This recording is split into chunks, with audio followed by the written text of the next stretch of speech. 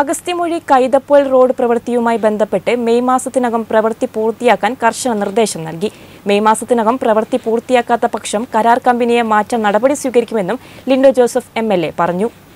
കിഫ്ബി ധനസഹായത്തോടെ നിർമ്മിക്കുന്ന കൈതപ്പോയിൽ അഗസ്ത്യമൊഴി റോഡ് മലയോര ഹൈവേ എന്നീ പ്രവൃത്തികളുടെ പുരോഗതി യോഗമാണ് ജില്ലാ കളക്ടറുടെ സാന്നിധ്യത്തിൽ കളക്ടറേറ്റിൽ ചേർന്നത്.